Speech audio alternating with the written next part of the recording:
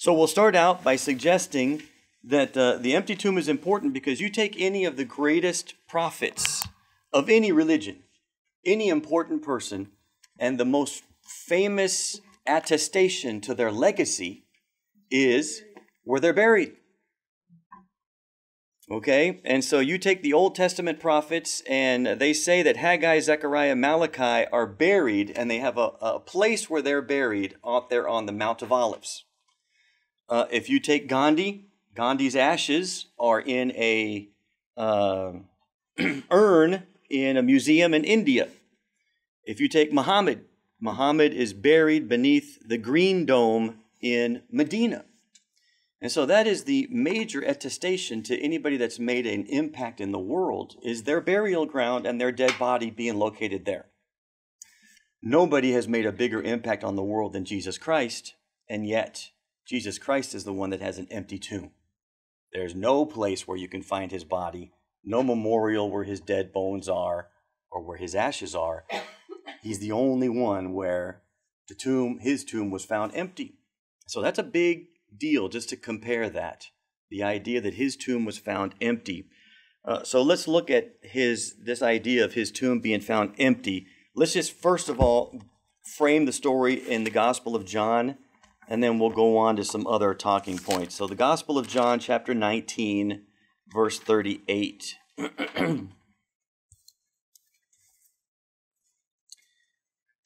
John 19 and verse 38. After these things, Joseph of Arimathea, who was a disciple of Jesus, but secretly for fear of the Jews, asked Pilate that he might take away the body of Jesus. Pilate gave him permission, so he came and took his body. Nicodemus also, who earlier had come to Jesus by night, came bringing a mixture of myrrh and aloes, about 75 pounds in weight. That would have been worth a lot of money. And that's going to come up a little bit later. So they took the body of Jesus, they bound it in linen cloths with the spices, as is the burial custom of the Jews. And now, in the place where he was crucified, there was a garden. And in the garden, there was a new tomb which no one had yet been laid. So, because of the Jewish day of preparation, since the tomb was close, they had laid Jesus there. Now, on the first day of the week, Mary Magdalene came to the tomb early while it was still dark and saw that the stone had been rolled away from the tomb. And so she ran and went to Simon Peter and the other disciple, the one whom Jesus loved, and said, They have taken the Lord out of the tomb, and we don't know where they've laid him. So Peter went out with the other disciple, and they were going towards the tomb. Both of them were running together, but the other disciple ran, outran Peter, and reached the tomb first. Stooping and looking in, he saw the linen cloths lying there, but he did not go in. So this is John that saw the linen cloths, and that was enough for John. He didn't bother going in. But Simon Peter, the impetuous one, Simon Peter came following him and went straight into the tomb. He saw the linen cloths lying there, and the face cloth which had been on Jesus' head was not lying with the linen cloths, but it was folded up in a place by itself. Then the other disciple who had reached the tomb first also went in, and he saw, and he believed. For as yet they did not understand the scripture that he must rise from the dead. So the disciples went back to their homes. So that's our account of the empty tomb. We already went into um, the legitimacy of John's gospel last week or several weeks ago when we had our class before the break the um, attestation of the New Testament scriptures. So here we have an empty tomb, and one of the historical parts that is super important when we come to this is that the G- the the Jews had anticipated uh, a plot of some kind that the disciples might want to come and remove Jesus' body. Jesus had already told the Jews uh, that, that he would give them the sign of Jonah.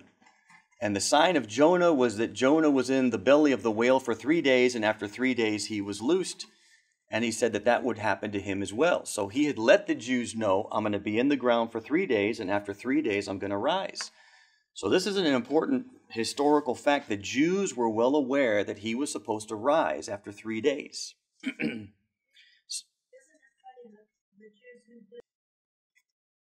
anything that might perpetuate this thing that they did not like. And so, in rather than risking the body coming up missing, the Jews did everything they could to, to, to uh, protect that tomb so that nobody could take the body. This is a big historical, yeah.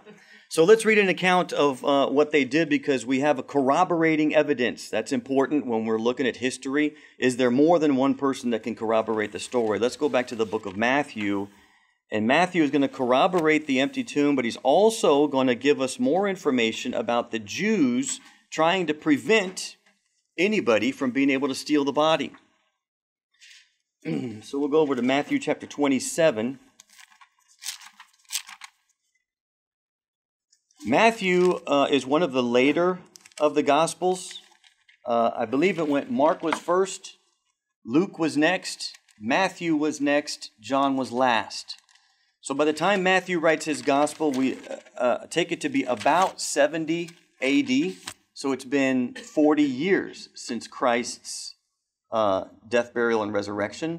And so Matthew is going to cover some topics that maybe some of the earlier Gospels didn't cover because of the rumors and stuff that had developed in those 40 years. So, Matthew chapter 27 and verse 62. And we're looking for the Jewish leaders trying to prevent anybody from being able to take the body. The next day, one of the preparation day, the chief priests and the Pharisees went to Pilate Sir, they said, we remember that while he was still alive, that deceiver said, After three days I will rise again. So give the order for the tomb to be made secure until the third day. Otherwise, his disciples may come and steal the body and tell the people that he has been raised from the dead. The last deception will be worse than the first. Take a guard, Pilate answered. Go make the tomb as secure as you know how.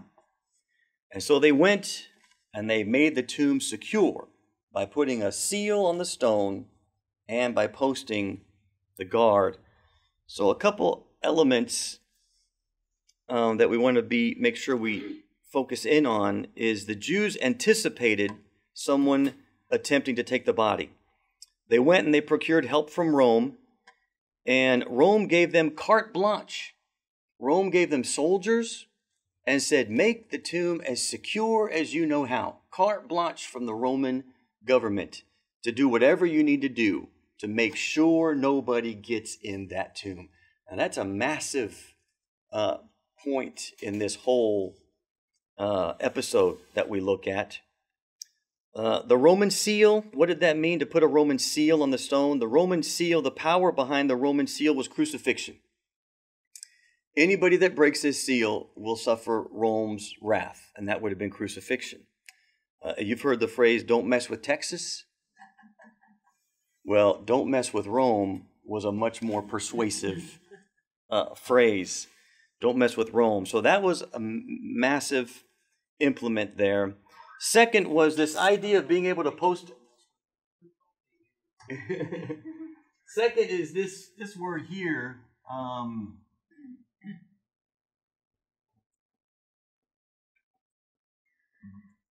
The, the word that's translated a guard has a monumental significance in this episode because really what the text says is Pilate gave them a Roman custodian. A custodian was um, the typical, like, I guess, um, anti riot type police. A custodian was anywhere from four to 16 soldiers. But what they would do is they would line up four sets of four Roman soldiers. and these, this custodian, this this this guard, um, what's interesting is the United States Army uh, reprinted. What was it called? The U.S. Army has reprinted a copy of the Military Institutions of the Romans by Flavius Renatus. The military institutions of the Romans, they reprinted this manuscript and it was used by the U.S. military in order to train the Green Berets. I don't know if you're familiar with Rome's legacy, but the um, the legion. Oh no, no, it wasn't a legion. The Roman. Anyway, it was what made Rome so lethal. So the U.S. Army actually studied Rome's tactics in war, and they used those to form the basis of the training for the Green Berets. Well, one of the things that's documented in that book is exactly what the Roman custodian was. And it was four groups of four wide that was an impenetrable force for the Roman army. Each man was a fighting machine. Each man had between five and six weapons. They were experts in their field. Their job was to protect six square yards each against a superior force. The reputation was that 16 men, four square, four wide, four deep, could stand their ground while battling an entire battalion of the army, of the enemy. So this was a massive force. Uh, we actually see this same force in Acts when they came out to escort Peter out of town. So let's look at Acts, just to be pretty interesting. Acts chapter 12. Acts chapter 12 and verse 4.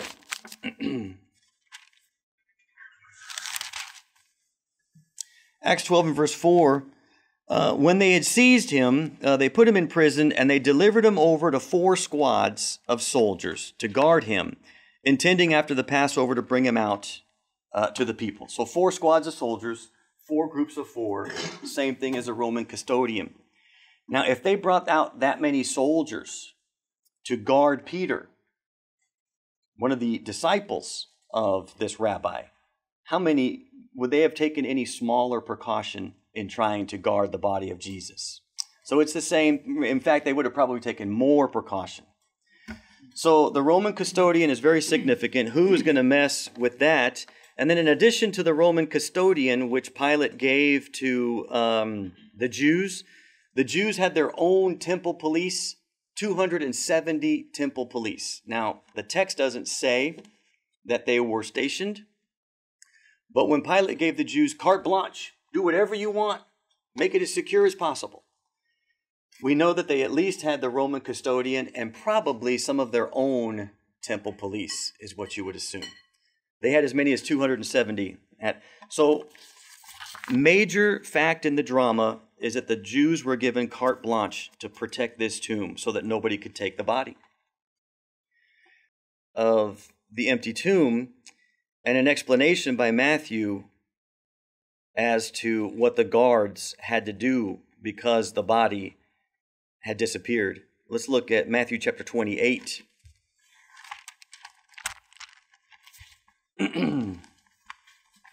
Matthew chapter 28.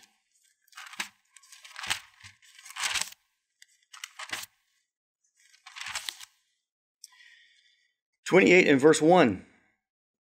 After the Sabbath, at dawn on the first day of the week, Mary Magdalene and the other Mary went to the tomb.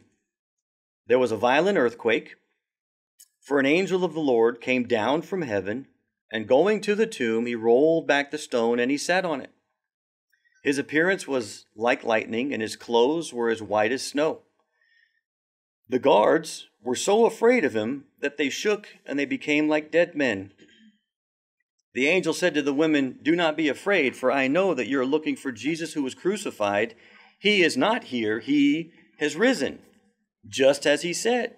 Come and see the place where he laid. So that's the account that the soldiers were not allowed to, or were not successful in stopping the body from coming up missing. And um, an angel announces that Jesus had been resurrected. And so now we're switching from A, the Jews have been given the opportunity to take any means necessary to prevent his disappearance. After. Beautiful.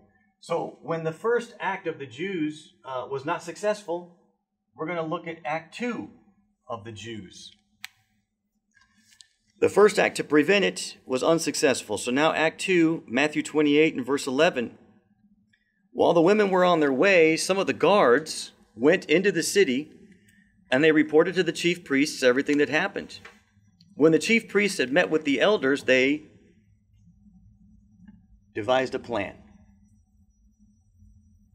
They gave the soldiers a large sum of money, and they told him, You are to say to his disciples came during the night, and they stole him away while we were asleep. Now, the problem with this is a Roman soldier, if a Roman soldier ever failed at his job, he was executed. You don't do your job right, you died. So here are 16 men that are going to face uh, execution. What are the odds that 16 men fell asleep? Okay. So you are to say that his disciples came and stole him away while we were asleep. Now, if the report gets to the governor, we will satisfy him and we will keep you out of trouble. So this is what waylaid their fear of being beheaded. So probably they wouldn't punish him if they knew it was based on a lie, right? Yeah. So the soldiers took the money and they did as they were told, and this story has been widely circulated amongst the Jews to this very day. That's an interesting little tagline that uh, 40 years after Jesus' crucifixion, Matthew is drawing attention to the fact that the first attempt of the Jews didn't work. So the second attempt was to invent a lie. And he's saying this lie has been circulated amongst the Jews to this very day. That's why they say Matthew records the lie. Since it was a lie, the fact they didn't kill the people corroborated was just a way to corroborate their story. Yeah. Yeah. And the Jews had a lot of pull. We're going to see that the Jews had a lot of pull with Herod and, uh, and in Rome. And so the Jews could very well get some people excused, uh, whereas that would not normally happen. So there's the, uh, the account there um, it's the second corroborating account of the empty tomb, but Matthew is the first one to tell us that the Jews invented a lie and that that was perpetuated. I'm going to go into some extra biblical um, documents. This was written by Justin Martyr. Justin Martyr uh, was a Christian, but he was trying to convert a Jew. His name was Trypho. And they were in Ephesus. Interesting about Ephesus, right? Because that's where Revelation was written to. So Justin Martyr was in Ephesus with a guy named Trypho, a Jew, and Ju- Justin Martyr is telling the Jew the lies that the Jew have perpetuated, and he's trying to convince Trypho that uh, Christ really was, trying to get him to switch to Christianity. And so we have this recorded in his dialogue. Like I said, guys, uh, someday I'll, I'll put all this in a little book and I'll give you all the photocopies of all the books that I've bought. I bought almost every one of these books so that I could highlight and photocopy exactly the documentation of the evidence. So here's how the discussion goes.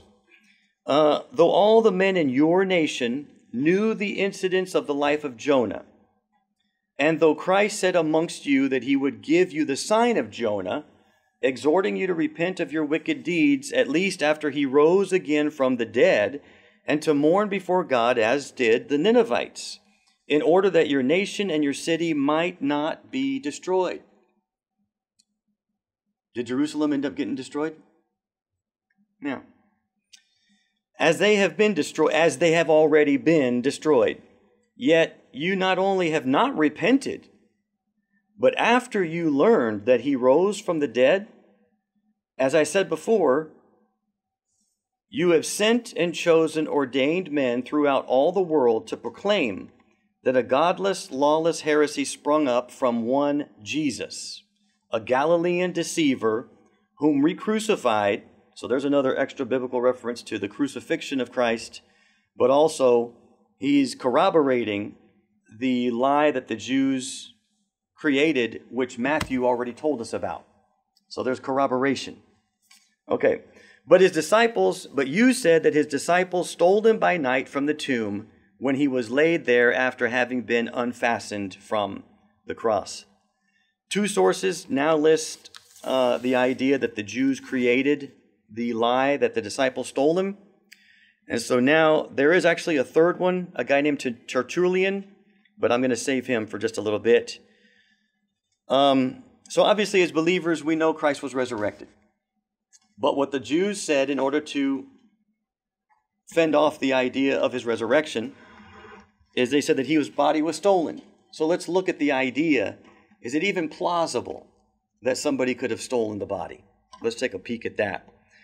Uh, in Mark 14:50, the first suggestion against the possibility of that is that the disciples were all terrified. The disciples were all afraid and they all went into hiding. Mark 14:50, all the disciples deserted him and they fled. Christ was left alone at the cross. Uh, John chapter 20 and verse 19, on the evening of that day, the first day of the week, they were all behind locked doors because they were afraid of the Jews. So after the um, after the uh, crucifixion, they were all hiding out because they were afraid of the Jews.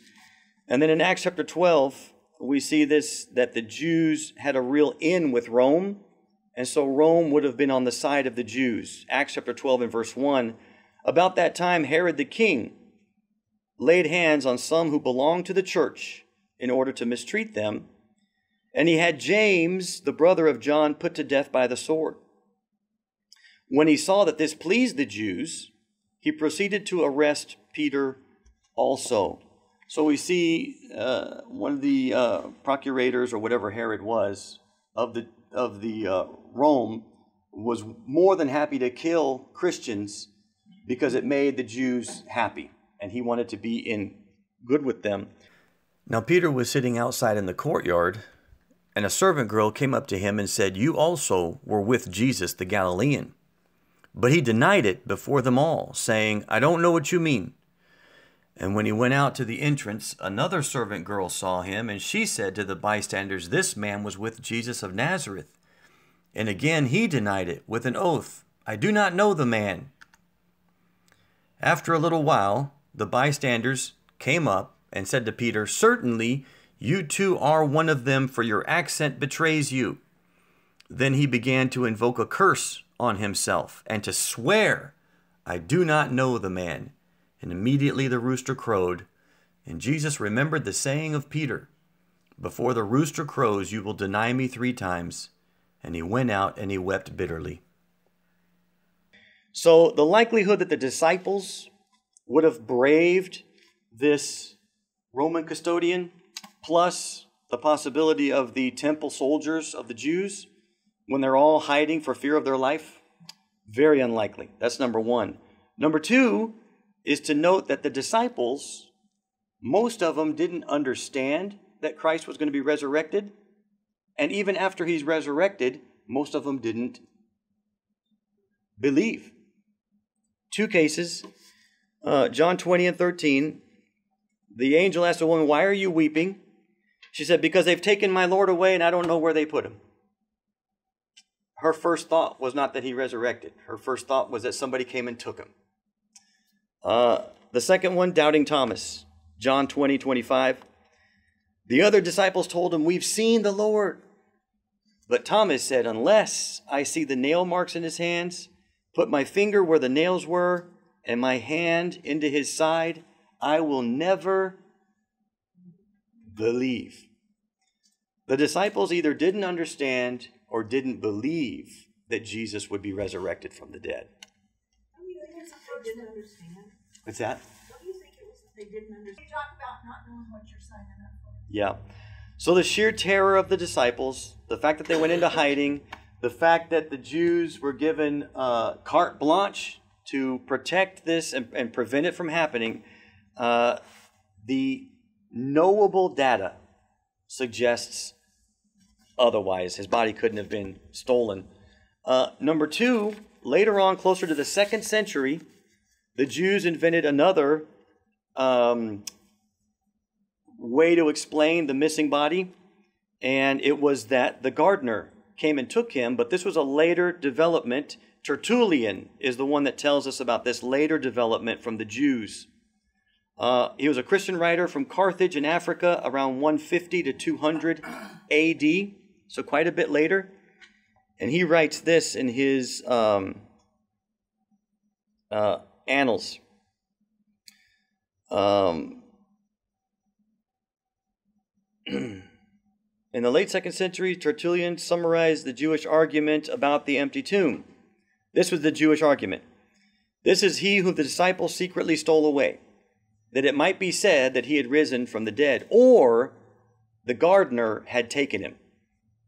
So it's interesting that as time went by, they started coming up with other possible explanations because by this time, by 200 AD, the great persecution of Domitian, which is what we're reading about in the book of Revelation, all the martyrs, all the people that had been beheaded, all the people that had been killed, so many people had been killed either by the Jews or by Rome for this belief in the resurrection that they said somebody would have negated, somebody, there's no way that this many people would die if somebody really stole the body. Nobody, this many people wouldn't die for a lie, is what they were gathering. So we got to come up with something else. So by 200, they came up with the idea that maybe the gardener took him. Um, notice that Tertullian mentioned something that neither Matthew nor Justin had reported. Um, primarily, the Jewish, the primary Jewish response was that the disciple stole the body, but some Jews argued that maybe a gardener had removed the body because of how implausible the argument was that the disciples, in light of their suffering and their martyrdom. So, as soon as people were willing to die, it became implausible that this whole thing was a lie. Tertullian. The last theory, and it's more of a modern one, was grave robbers. Maybe grave robbers came and stole him. So if we look back at John's account, there are some things in John's account that, when we look at the data, the available data would say, nope, there weren't grave robbers either. So let's take a look at that. Even now, there's some that say, well, he wasn't really dead. He, he rested for a while and walked off. Yeah. And that was why we covered the death uh, two weeks ago. The grave robber scenario is a more modern one, so let's look at the possibility of that. John chapter 20 and verse 3. So Peter went out with the other disciples, and they were going towards the tomb. Both of them were running together, but the other disciple outran Peter and reached the tomb first. Stooping in, he looked in and he saw the linen cloths lying there. So play detective. See if you can figure out what would the linen cloths lying there, what would that tell us? Hmm. But they did not go in. And then Simon Peter came following him, and he went into the tomb, and he saw the linen cloths lying there, and the face cloth, which was on Jesus' head, was not lying with the linen cloths but it was folded up and it was placed in a self in a place by itself. If you were Columbo, there's a lot of details right there that would suggest uh, these weren't grave robbers. So here's what you want to be aware of. Um, another back up also to the custodian Yeah. guards and Yeah. the seal when you go back to that. Yeah, thanks for, uh, I forgot. That's another testimony is that seal, that Roman seal. Yeah, there's a lot there. And who knows how many of the Jewish uh, police they might have stored there too. So, yeah. Grave robbers? There were definitely this in verse eleven on down Yeah. jewels or Yeah. Yeah. There was nothing in there, they were gonna borrow, right? Yeah. Yeah. So good you, you guys picked up on it. The the accounts themselves, the data, the available data leads you to conclude no, this is not about grave robbers. Uh, and so um, there are a couple fragments, and this is fascinating, but I have not been able to actually buy these books uh, to actual have photocopies. But I've got the quotes here. Uh, most scholars think that the very presence of the burial clothes in the tomb led John, the beloved disciple, to conclude that the body had not been stolen. Who's going to fold up the head rag and place it neatly aside and leave the other rags? The grave robbers would not have taken the time to unwrap the body, giving themselves the burden of carrying a stiff, decaying, uh, decomposed, naked corpse around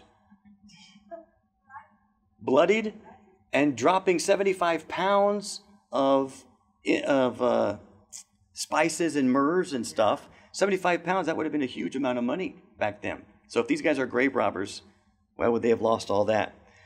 This is the ex- ancient explanation. Uh, another guy, Grass, cites a Coptic apocryphal fragment. I wish I had that.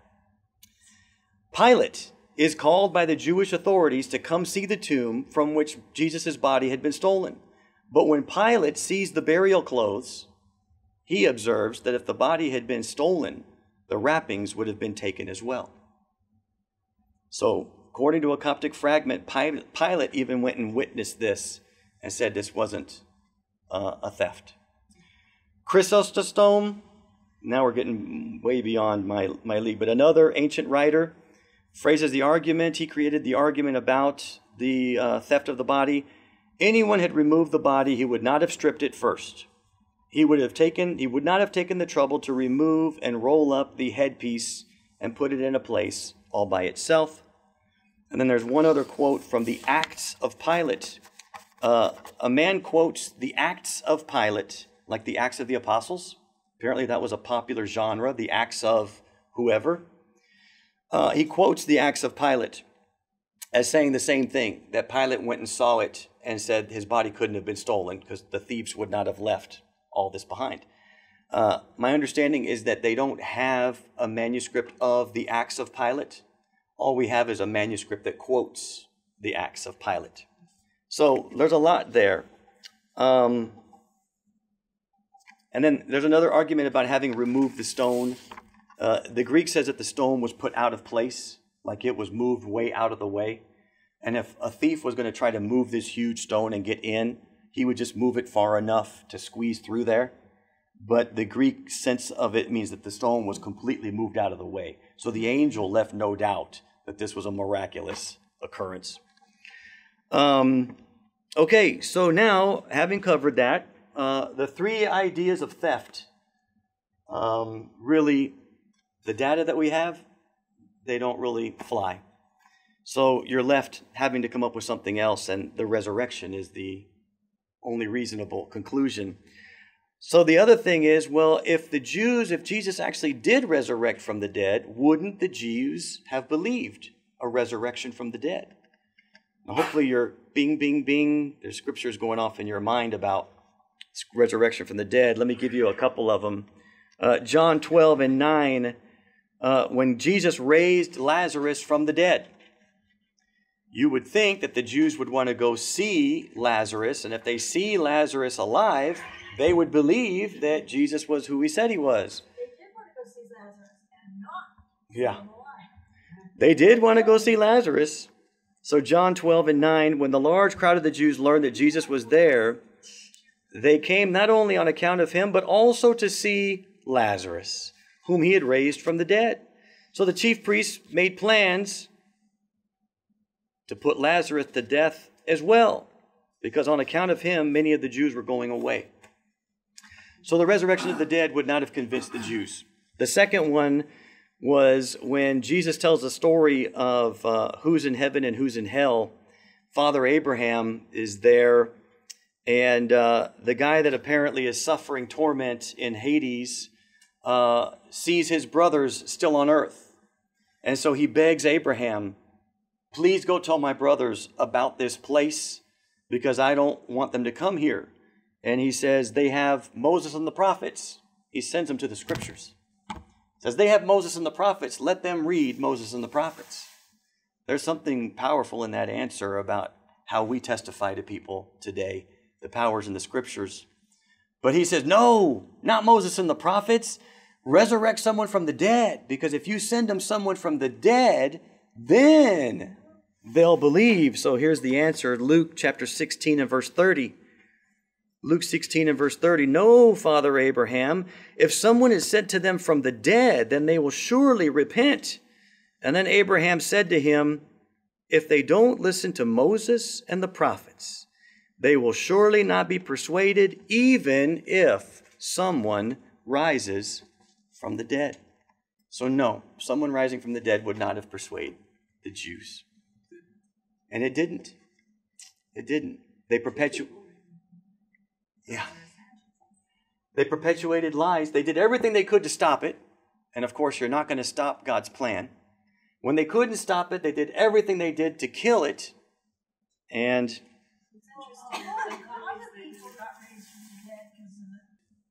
the empty tomb, and I had the conversation, and that was all it took.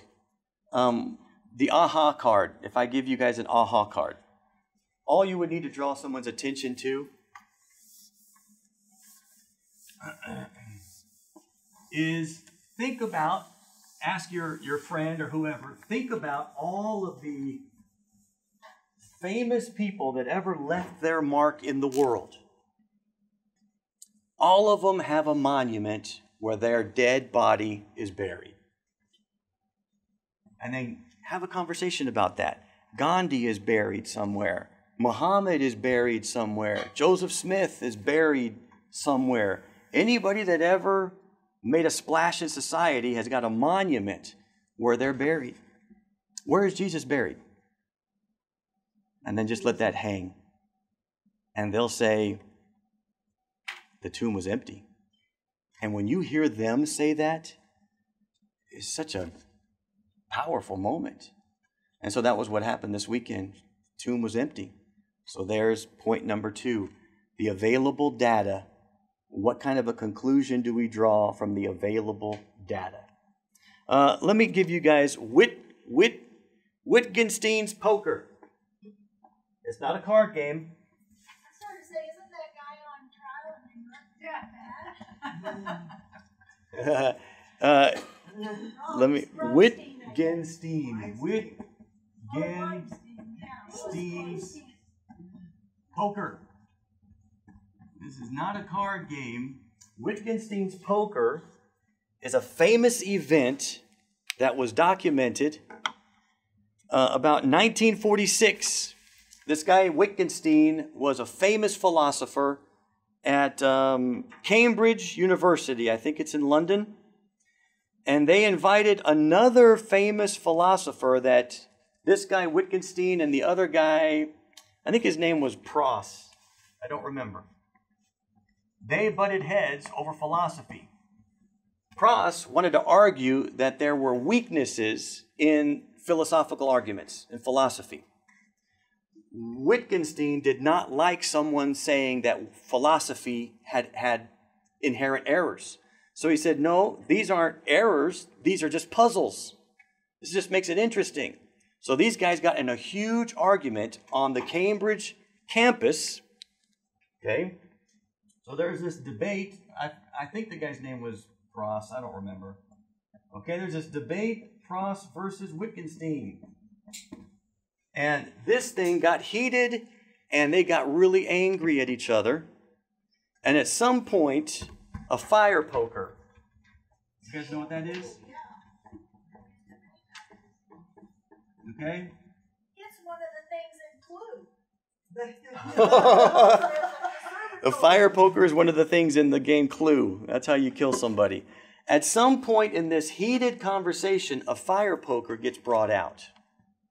Now, what's interesting about the account, Wittgenstein's poker is what it's called, is there are all kinds of testimonies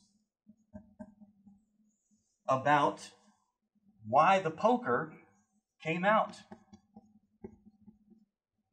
The people that were actually at this lecture have all kinds of interpretations about the story of the poker.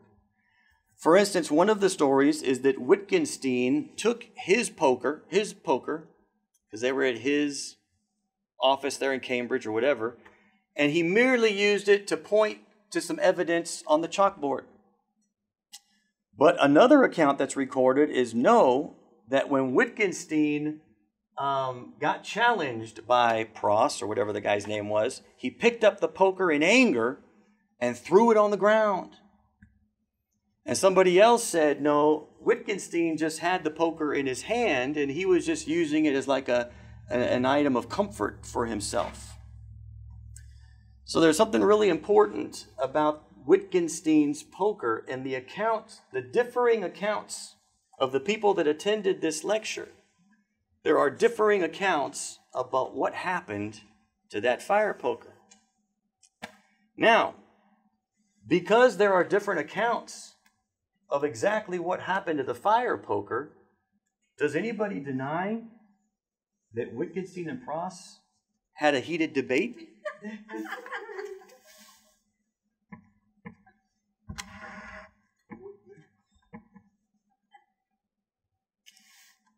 the frivolous details around the outside